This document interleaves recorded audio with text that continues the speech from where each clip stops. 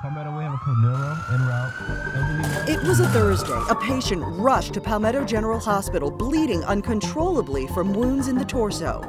The patient whisked through the ER doors at 3:39 p.m. EMT Christian Martinez was on the scene. I see the stretcher and the patient covered in blood. There was blood all over. Stay with us, okay?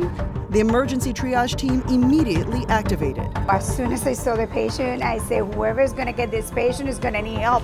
RN Yamili Yoren said this technically wasn't her patient, but she jumped in because it's all about teamwork. How are you doing? The patient was in shock, hypotensive, the blood pressure severely low.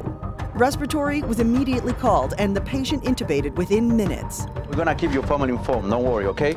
IV bags put in place, labs drawn, EKG, a central line put in place. Emergency room physician Dr. Eric Carrasco making life saving choices for this very critical patient. And we start blood transfusion immediately.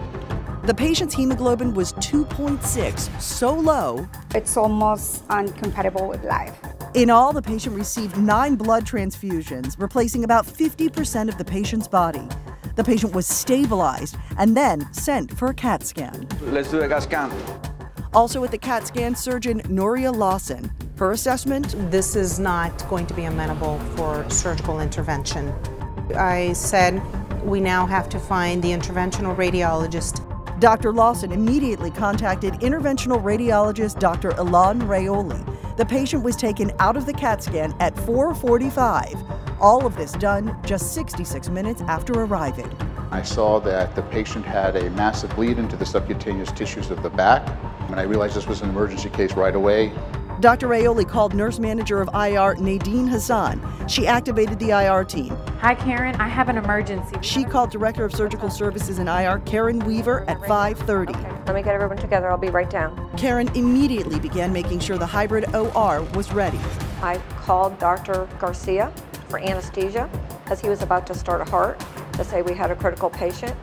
He then activated two CRNAs and himself. We brought all the supplies down. Everyone came into the OR, got everything open, set up the back table, set everything up to, ready to receive the patient. 11 minutes from the call to Weaver at 541, We gotta go. the patient was wheeled into the hybrid OR by a respiratory therapist, Hassan, and Dr. Rayoli themselves. And we needed to stop the bleed as soon as possible or the patient could die. The patient on the table. 19 minutes after the team entered the hybrid OR, the wire was placed. It was 6 p.m.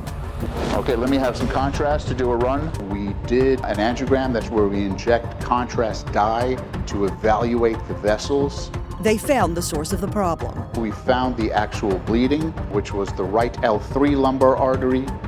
So these coils. This is the bleed right here. Dr. Rayoli placed a very small coil into the artery. You see that right here. We pulled them back until the whole vessel was uh, infused with them. We did a contrast injection. We saw no further bleeding. Okay, I think we've got it. The procedure complete at 6:21. From inserting the wire at 6 to the completion time, a mere 21 minutes. That's it, it's done. Thank you very much for your help. Good job, guys.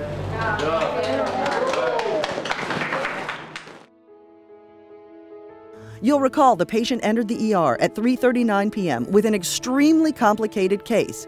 The tear was diagnosed and fixed by 6:21.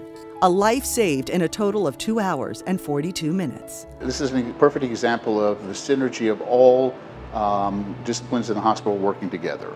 The patient was kept in the hybrid OR until the patient was stable and warm enough for transport. The patient was taken to ICU an hour and 39 minutes later at 8 p.m. All right, get a set of vitals. The staff overseeing the patient's crucial moments checked on the patient in ICU. The patient was awake and then blew us a kiss to say um, thank you to us. We made sure that the patient's family was informed of the status, what we were doing, what to expect. ICU Critical Care Director Vicki Perez says the patient was extubated Friday, just 24 hours after arriving, and monitored on Saturday in the ICU. On Sunday, we were able to take the patient to the regular floor. The patient was very grateful with the staff. And on Tuesday, a mere four days after the patient was rolled through those emergency room doors, moments away from death, the patient was discharged. A life saved, thanks to perfectly timed teamwork. Also, thanks to a commitment to excellence, outstanding technology, experience, and above all, a better life for patients treated at Palmetto General Hospital.